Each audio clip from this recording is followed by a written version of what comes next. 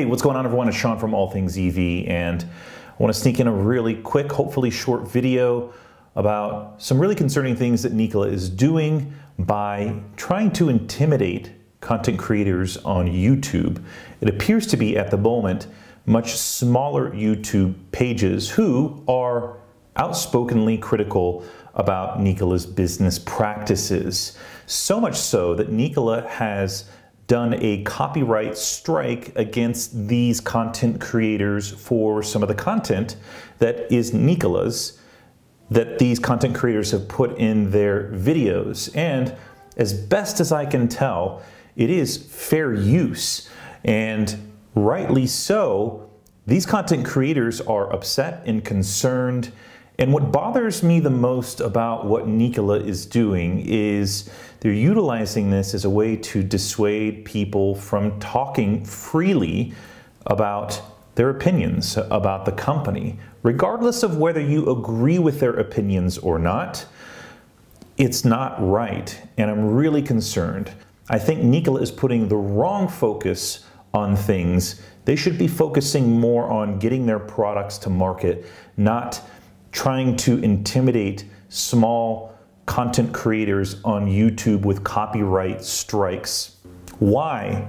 Why is Nikola doing this? Why are they wasting their time by trying to remove content, remove videos on a copyright strike basis? It is an utter waste of time, in my opinion, and it's not focusing on the right things and this makes me even more concerned for Nikola's business practices. This is on top of all of the other things that have sort of hit the fan over the last couple of weeks with their Nikola One, Trevor Milton, the accusations around Trevor Milton, all of this stuff is just, it's, this is a House of Cards style Netflix series in the making, I can assure you. But I'm putting a video out like this because I think that it's important for everyone to know and understand what's going on.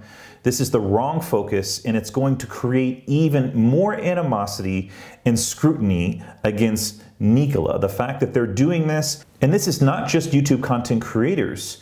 Trevor Milton's attorney has also sent a letter to whole Mars catalog run by Omar Qazi to try and intimidate him as well. All of this is the wrong focus for the company. If the company is legitimate and they have legitimate products, why not accelerate the timeline? Why not put the money that they're spending on legal and marketing to try and chase all of these people down? Why not put it into getting their products out sooner? If if they are a legitimate company.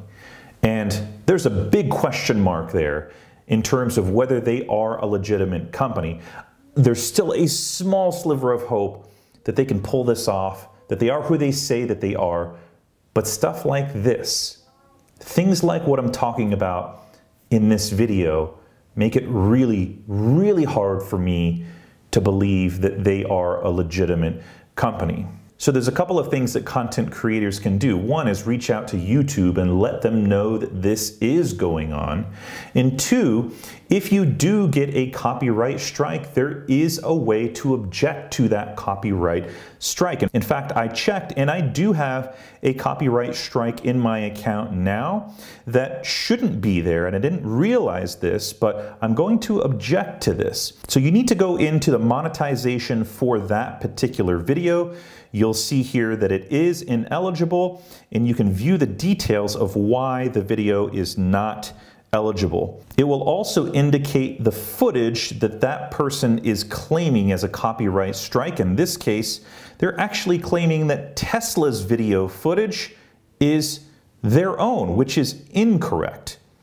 So what I'm going to do here is select action and I'm going to dispute I have the rights to use this content according to Tesla, and I'm going to select fair use. I have significantly transformed the content claimed in my video. The video is protected by fair use, fair dealing, or similar exceptions to copyright. I'm going to select the box that says, I believe my video is protected under fair use, fair dealing, or similar exceptions to copyright.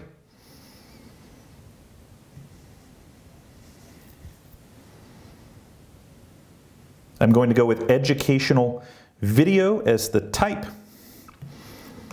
and say this is Tesla Tesla's content provided from their press kit.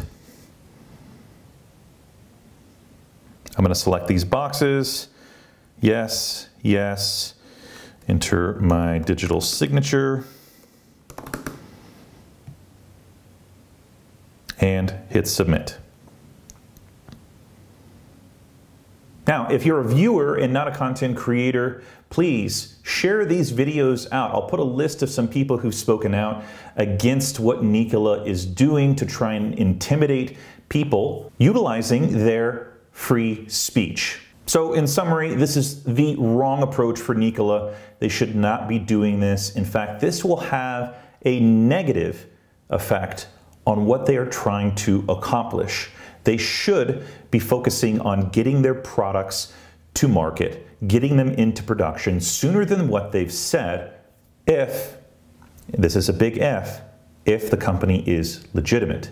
Trying to intimidate content creators and people speaking against the company will actually magnify people talking about it in this way, which is exactly why I'm creating this video. My guess is that the pressure the exposure of all of these people, these content creators and people on Twitter talking about how insane this is that Nikola is doing this, will pressure them to pull back massively. What are your thoughts on this? I'd love to hear in the comments down below. Sean Mitchell, All Things EV. Thank you for tuning in, I'll catch everyone on the next video.